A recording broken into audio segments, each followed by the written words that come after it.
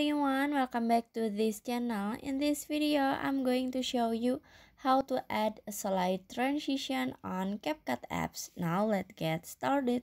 First, after you open your CapCut apps, you just uh, add the video that you want to edit. In here, I want to add a three a video.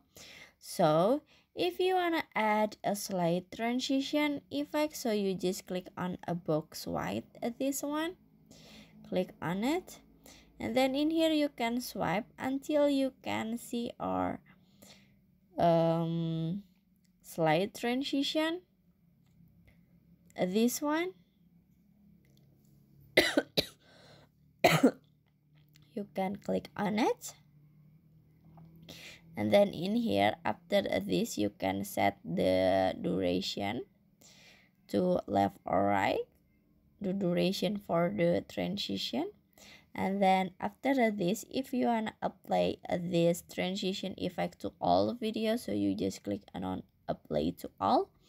And after this if you want to uh, accept the transition so you just click on check icon in here. And finish so that how to add a slide transition effect on CapCut apps.